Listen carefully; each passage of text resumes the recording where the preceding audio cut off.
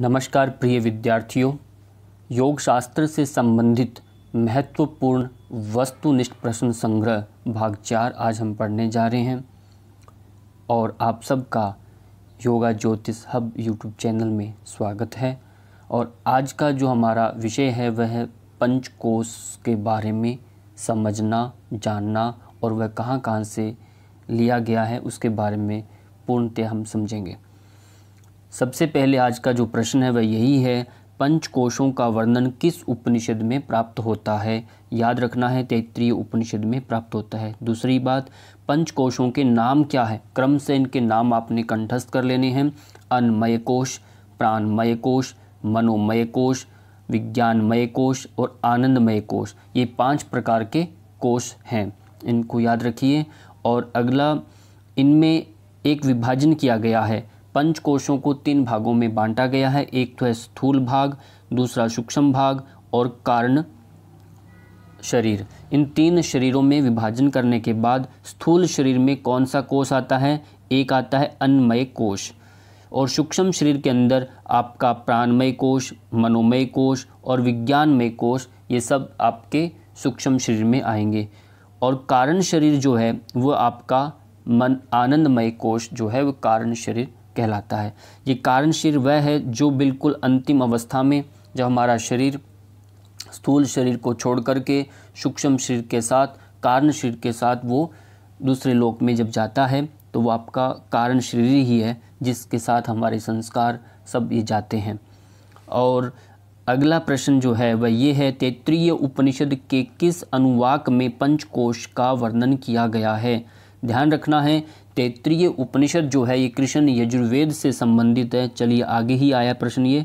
ये अनुवाक की बात कर रहे हैं तो द्वितीय अनुवाक से संबंधित है। इसको हम अभी समझेंगे आगे आने वाले में, क्योंकि इसमें कितनी अध्याय हैं, उनको किन नाम से जाना गया है, और उनमें कितने अनुवाक हैं, और फिर ये बात समझ में आ जाएगी। ये द्वितीय अनुवाक से संबंधित है पंचकोश। अब अगला जो प्रश्न है, वह तैतृय उपनिषद के किस वेद की शाखा से संबंधित है? क्योंकि हर उपनिषद किसी न किसी वेद से संबंधित होता है तो ये तैतृय उपनिषद जो है, कृष्ण यजुर्वेद की तैतृय शाखा से संबंधित है। इसको भी आप याद रखिएगा। और अगला प्रश्न ये है, तैतृय उपनिषद में कितने अध्याय हैं? यानी क्रम से उनके नाम लिखने। आपको क्रम से कम ये अध्यायों के नाम याद रखने हैं। अध्यायों की संख्या कितनी है? तीन है। और पहला है शिक्षावल्ली। ब्रह्मानंदवल्ली और भृगुवल्ली, ये तीन अध्याय हैं। इन अध्याय के अंदर ही पूरा तैतृय उपनिषद समाया हुआ है और अगला जो प्रश्न ये है, तैतृय आरण्यक। तैतृय आरण्यक के दस प्रपाठकों में किन किन प्रपाठकों में तैतृय उपनिषद है, जिसे हम कहते हैं? पहले हमने जाना कृष्ण यजुर्वेद की तैतृय शाखा से ये तैतृय उपनिषद लिया गया है और तैतृय आरण्य के दस प्रपाठक है टोटल। उसमें कितने खंड हैं? दस हैं और दस में से भी सातवां, आठवां, नौवां, ये तीन जो प्रपाठ को ही हम तैतृय उपनिषद के नाम से जानते हैं। और अगला जो ये प्रश्न है, तैतृय उपनिषद की क्रमशः पहले शिक्षावल्ली जो हमने देखा, ब्रह्मानंदवल्ली, भृगुवल्ली, इनमें कितने कितने अनुवाक हैं? अब देखिए, पहला है शिक्षावल्ली, जिसमें बारह अनुवाक हैं। फिर आपका ब्रह्मानंदवल्ली, जिसमें नौ अनुवाक हैं और भृगुवल्ली, जिसमें दस अनुवाक है। इस तरह से इनकी आपने संख्या याद रखनी है। और अगला जो प्रश्न ये है तैतृय उपनिषद की प्रमुख शुक्तियाँ कौन कौन सी हैं? नाम लिखना है। ये शुक्तियाँ हम कई बार कहीं देखने को मिलती है, पढ़ने को मिलती है, कहीं स्कूल के अंदर, कहीं स्थानों पर, धार्मिक स्थलों पर ये सूक्तियाँ लिखी रहती है, जिसमें हम लिख, पढ़ते हैं, अन्नम ब्रह्म वई रसो वई सह, अन्नम न निंद्यात, अन्न की निंदा नहीं करना, सत्यम वद, धर्मम चर, स्वाध्यायात माँ प्रमद, मातृदेवो भव, पितृदेवो भव आचार्य देवो भव अतिथि देवो भव। इस तरह से हमने बहुत सारी व्यवहार में भी हमने समझा है सुना है इनको। तो ये सब की सब कहाँ हैं? तैतृय उपनिषद की प्रसिद्ध सूक्तियाँ हैं ये। और तैतृय उपनिषद की जो प्रथम वल्ली है, शिक्षा वल्ली, उसमें ये सब आती हैं। और क्योंकि उसमें शिक्षाएँ हैं, कैसे आपको आचरण व्यवहार के बारे में पूरा उसमें विवरण दिया गया है, बताया गया है, शब्दों को कैसे उच्चारण करना है, उनके स्वर, उनकी मात्राओं के बारे में बताया गया है। तो इस तरह से और अगला जो प्रश्न ये है, प्राचीन भारतीय चिकित्सकों के मतानुसार शरीर को कितने प्रकार का माना गया है? ये थोड़ा एक अलग से प्रश्न बना। इसमें भी तीन भाग हैं। स्थूल भाग हमने पहले जाना, सूक्ष्म शरीर और कारण शरीर। तीन शरीर हमारे। स्थूल शरीर जो है, इसमें जिसे हम पार्थिव शरीर कहते हैं। स्थूल शरीर को किस नाम से जानते हैं? पार्थिव शरीर। जो आपका पंच महाभूतों से जो बना हुआ है, निर्मित है, वह हमारा स्थूल शरीर होता है। सूक्ष्म शरीर, कोई पूछे आपसे, सूक्ष्म शरीर किसे कहते हैं? इसमें हमारा प्राण है, मन है, बुद्धि है, इनका समावेश रहता है। यानी पहला स्थूल शरीर अन्नमय कोष से संबंधित हुआ।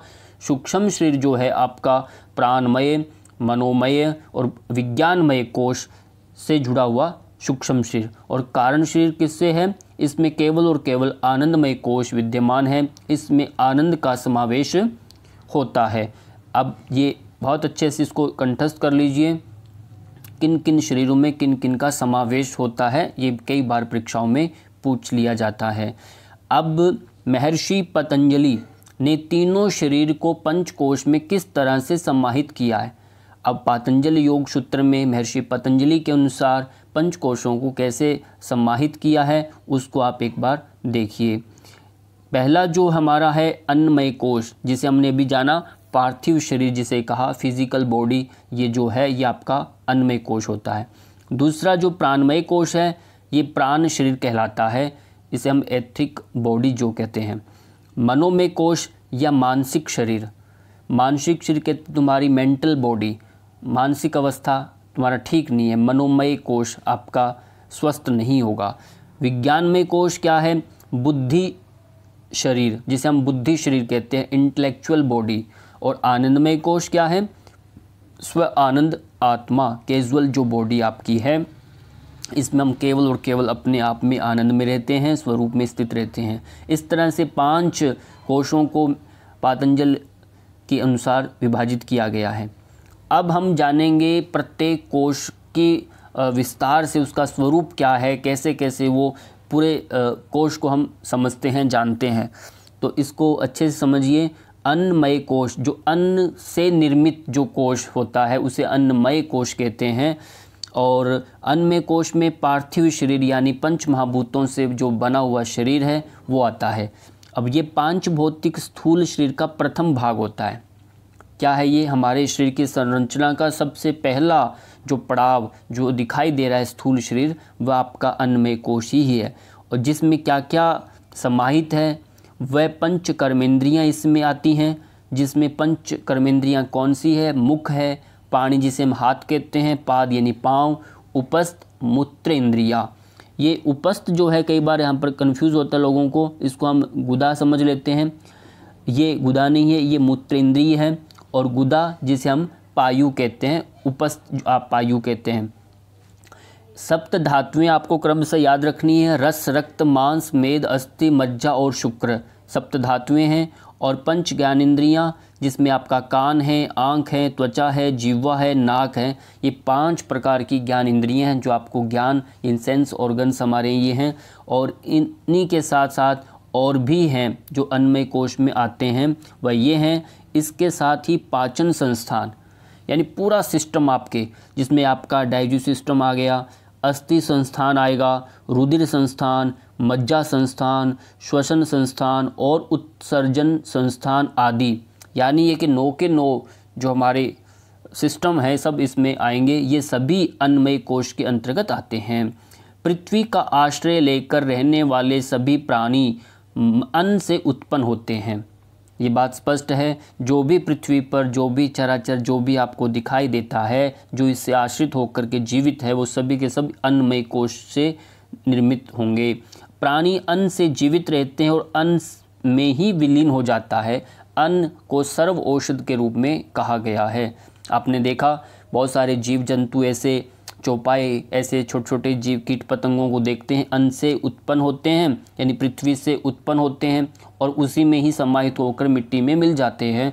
फिर समय आते ऋतु आती है, वही कीट पतंगे दोबारा से निर्मित होकर दोबारा से पनपते हैं और फिर उसी में समा जाते हैं। तो ये सारा अन्नमय, ये सब जो विचार है, जो तैतृय उपनिषद में, इसमें भृगु और वरुण का परस्पर संवाद है। भृगु इसमें पुत्र हैं, वरुण उसके पिता हैं। वरुण अपने पुत्र भृगु, जब भृगु अपने पिता के पास जाता है और जाकर कहता है कि मुझे बताइए सृष्टि कैसे बनी, क्या है सब कुछ, तब वो अन वरुण उनके पिता जो ऋषि वरुण हैं, वो अपने पुत्र भृगु को कहते हैं, जा कर के तप करिए। क्या करें? तप करें।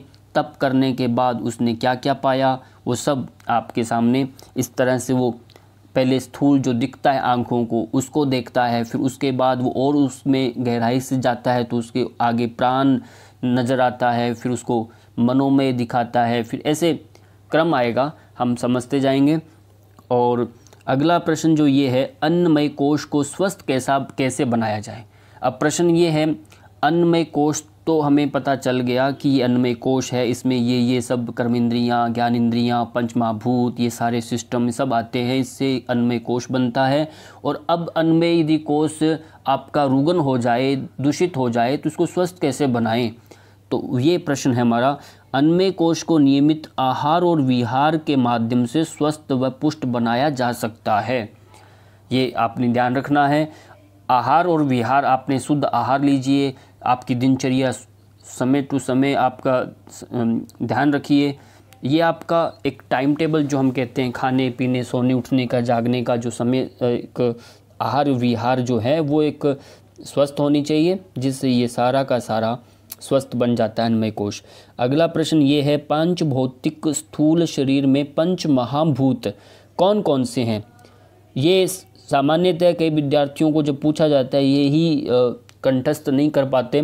पंच महाभूत क्या हैं? ये फाइव एलिमेंट्स जिससे पूरा सृष्टि बना है और जिससे हमारा शरीर बना है। ये पंच महाभूत का सबसे पहला जो है आकाश जिसे आ, कुछ दर्शनों में आकाश तत्व को नहीं मानते है ना? आकाश पहला विकार आकाश से वायु निकला। वायु से अग्नि अग्नि से जल जल से पृथ्वी। पाँच प्रकार के जो ये तत्व हैं इनको पंच महाभूत के नाम से जाना जाता है। और अगला ही प्रश्न ये है, जो मैंने अभी बताया तैतृय उपनिषद में किस किस का संवाद है, ये आपसे पूछ लिया जाता है। ध्यान रखना है, ऋषि वरुण। ऋषि वरुण कौन है? पिता है। किसके पुत्र भृगु, यानी शिष्य के रूप में वो अपने पिता के पास जाते हैं और जा कर के अपनी इच्छा, अपनी जिज्ञासा व्यक्त करते हैं कि ये सब क्या है, उसको जानने की, सृष्टि के बारे में, रहस्य को जानने के लिए। तब वो उनको कहते हैं कि तप कर। तब आगे क्या है प्रश्न? तैतृय उपनिषद में आयु किसे कहा गया? आयु का जो वाचक शब्द यहाँ प्राण को लिया गया है, ये प्राण जो है, ये आपका आयु का बोधक हो गया। आयु यानी आपकी जब तक शरीर में प्राण है, तब तक व्यक्ति जीवित है। तो इसी के साथ जो जब से है, तब से काल क्रम के अनुसार उसको आयु की संज्ञा दी गई है। बुद्धि के कोष में, बुद्धि के कोष को क्या कहा गया है? क्या कहा जाता है? विज्ञान में कोष जिसमें विज्ञान, विशेष प्रकार का ज्ञान छुपा रहता है। वो किससे बोध होता है? वो बुद्धि के माध्यम से। इसलिए बुद्धि के कोष में को कहा जाता है, बुद्धि के कोष को विज्ञान में कोष। अगला ही प्रश्न है, ये तो हुई सारी की सारी बात आपके पूरे अन्नमय कोष से संबंधित। अब दूसरा जो कोष है, वह प्राणमय कोष। प्राणमय कोष को हम अच्छे से समझेंगे। जब ये कोश समझ में आ जाते हैं तो कोशों के बाद हमें ये निर्णय लेना बड़ा सरल हो जाता है कि किस व्यक्ति को कौन सा रोग लगा हुआ है, किस कोष से संबंधित है और उसके लिए क्या उपचार करना चाहिए। और वह रोग कहाँ तक पहुँच गया है और किस किस शरीर में अभी तक वहाँ है और उसके लिए क्या उपचार करना है, ये हम बहुत अच्छे से ये डायग्नोसिस कर पाते हैं। यदि हम पंचकोशों के बारे में जानते हैं आदि व्याधि जो पहले वाली वीडियो मैंने आपको पहुँचाया, उसमें हमने जाना। ये सब विभाजन करना एक योग प्रशिक्षक के लिए, योग चिकित्सक के लिए बहुत ज़रूरी है। प्राणमय कोश में स्थूल प्राण। प्राणमय कोश में क्या है?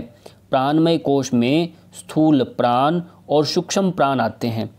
दो विभागों में बांट दिया। एक तो है स्थूल प्राण, एक है सूक्ष्म प्राण। इसको याद रखना है, जिनके द्वारा संपूर्ण शरीर का व्यापार चलता है, जो भी हाथ की मूवमेंट है, आँखों की पलकना है, मुँह से अवानी का बोलना है इस सारा का जो क्रियाकलाप होता है हमारे शरीर की अंग इंद्रियों से, वो सब प्राण के अधीन है। श्वास लेने से पूरक होता है। श्वास रोकने को हम कुंभक कहते हैं। श्वास छोड़ने को हम क्या कहते हैं? रेचक कहते हैं। अन्नमय शरीर के अंदर प्राणमय आत्मा है। पूरे अन्नमय शरीर के अंदर कौन विराजता है? प्राणमय आत्मा है। प्राण ही आत्मा का शिर कहा। प्राण को क्या संज्ञा दी है? शिर की। और वायान दाहिना पक्ष है और अपान बायां पक्ष है। यानी पूरे पंचकोशों को इसमें एक पक्षी के साथ कल्पना की गई है। पक्षी का जैसे सिर है उसका दायां बायां पंख है उसका मध्य भाग है पूंछ है। इस तरह से सारे शरीर को एक विभाजन के साथ सभी कोशों में परिभाषित किया गया है। पर हम इनको पूरा डिटेल में नहीं जाएँगे। आपको सिर्फ़ इतना जानना है प्राण में कोश में दो प्रकार के कोश मुख्यतः एक स्थूल प्राण है और एक सूक्ष्म प्राण है। इन दोनों को भी समझेंगे। और स्थूल प्राण के अंदर आ, क्या है वो आप ध्यान रखना है। इसमें देखता हूँ, इसमें वह प्रश्न में भी नहीं है तो मैं आपको थोड़ा सा उसके बारे में बता देता हूँ, स्थूल प्राण के बारे में। स्थूल जो प्राण है, वो पंच महाप्राण है, जिसमें प्राण, अपान, व्यान, उदान, समान, ये पाँच महाप्राण हैं, जो हमारे शरीर में अलग अलग विभागों में विभाजित हैं। प्राण आपका हृदय से लेके मुख तक आता है, ये आपका प्राण है। और प्राण अपान जो है आपका मूला आपके नाभि से नीचे का जो भाग है, जिसे हम अपान वायु कहते हैं, जो बाहर फेंकने का कार्य को देखता है, शरीर की गंदगी निष्कासन करता है।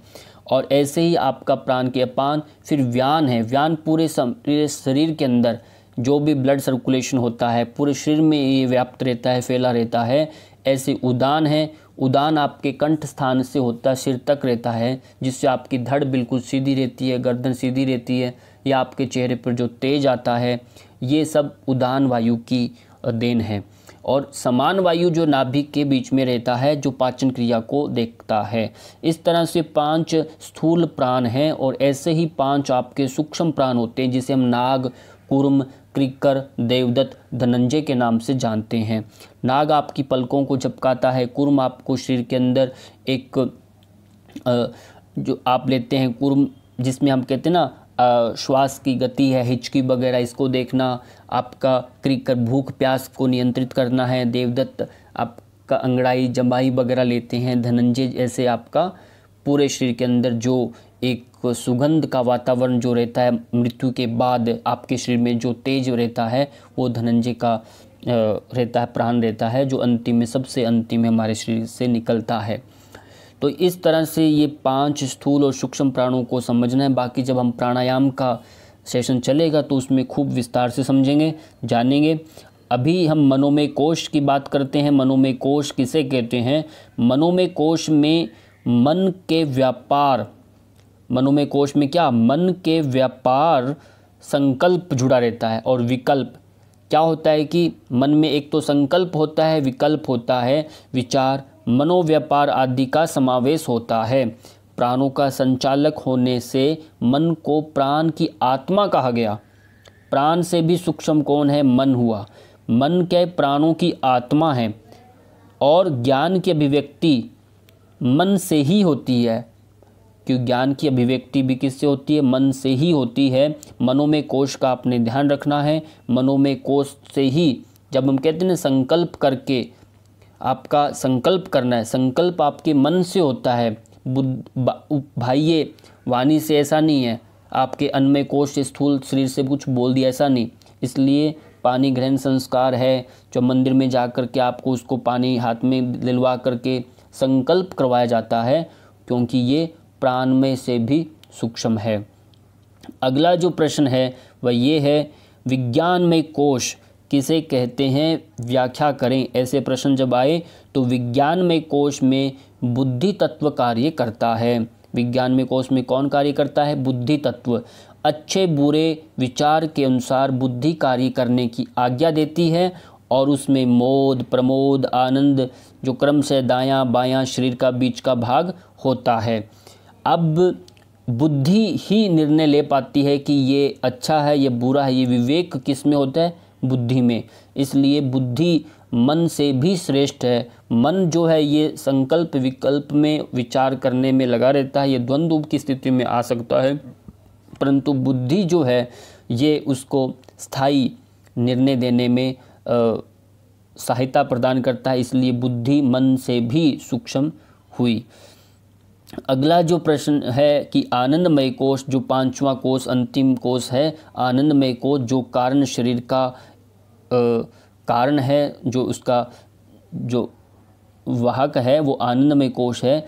आनंदमय कोष ये अपनी स्व आनंद अपने ही स्व आनंद निरामय अवस्था है जिसमें कोई कोई आकृति नहीं निर किसी में लिप्त नहीं रहता निरामय अवस्था है स्व आनंद स्वरूप है। आदि अंत रहित है और इसका कोई आदि न अंत सुख का सागर है और चित्त का साक्षी होता है ये स्वयं, क्योंकि आत्मदर्शन हो जाते हैं इस अवस्था में और ये मोक्ष अवस्था कहलाती है। इसमें कोई बंधन नहीं है और इसकी प्राप्ति योग का उद्देश्य है। और इसी की प्राप्ति एकमात्र योग का जो उद्देश्य है, मोक्ष यानी समाधि, कैवल्य की प्राप्ति करना, वो आनंदमय कोष के माध्यम से जब प्राप्त होता है तो वो उसको हो जाती है। इसलिए जो ये भृगु जो शिष्य के रूप में अपने पिता के पास गया, उसको ये पता चल गया कि पाँच प्रकार के क्रम से, यानी अन्नमय कोष से प्राणमय कोष प्राण से मनोमय सूक्ष्म, मनो से विज्ञान विज्ञान से आनंदमय कोष की जब व्यक्ति को प्राप्ति होती है, तब वह मोक्ष को प्राप्त हो जाता है और पूरे, फिर अंतिम में सामवेद के उद्गारों को वह घूम घूम के गाया करता है और उनको बंधन से वह मुक्त रहता है, निर्लिप्त रहता है। अगला ही प्रश्न आपने समझना है पंच कर्मेंद्रियों के नाम, जो मैंने वहाँ पर पहले बताया है। ये मुख, पाणी, हाथ, पाँव, उपस्थ, जो गुदा है, ये पंच कर्मेंद्रियाँ हैं। कई बार परीक्षाओं में पंच कर्मेंद्रियों के ही नाम पूछ लिए जाते हैं। पंच कर्मेंद्रियों में एक नाम मान लीजिए, ये कान यहाँ डाल दिया जाता है। तो कन्फ्यूज़ नहीं ना, कान, आँख, त्वचा जीवा नाक, ये सब पंच ज्ञान इंद्रियाँ हैं, जो आपको ज्ञान करवाती है। और अगला प्रश्न आता है सप्त धातुएँ कौन सी हैं? तो इनको क्रम से याद रखिए। तैतृय उपनिषद में ब्रह्मा से सृष्टि उत्पत्ति का भी क्रम पूछा जाता है। ये सृष्टि क्रम किस प्रकार से हुई? तो ये तैतृय उपनिषद में पता चलता है, यानी पुरुष जो है कैसे पैदा हो गया डायरेक्ट? तो कहा गया उसमें, ब्रह्मा सबसे पहले उत्पन्न हुए ब्रह्मा ने आकाश पैदा किया। आकाश से वायु वायु से अग्नि अग्नि से जल जल से पृथ्वी। और पृथ्वी से क्या है? औषधियाँ उत्पन्न हुई हैं। औषधियाँ उत्पन्न हुई और औषधियों से अन्न अन्न से जब अन्न उत्पन्न हो गया, तब पुरुष की उत्पत्ति हुई। ये बात ध्यान रखना है। ये एक सृष्टि क्रम है। सृष्टि उत्पत्ति कैसे हुई? तैतृय उपनिषद के अनुसार तो आपने क्रम को भी याद रखिए। ये हुआ आपका डेढ़ सौ प्रश्नों तक का जो प्रश्न संग्रह हमारा भाग आज हमने चार पढ़ा। तो इसी को आपने कंठस्थ करिए, याद कीजिए। और इसी के साथ सबका बहुत बहुत धन्यवाद।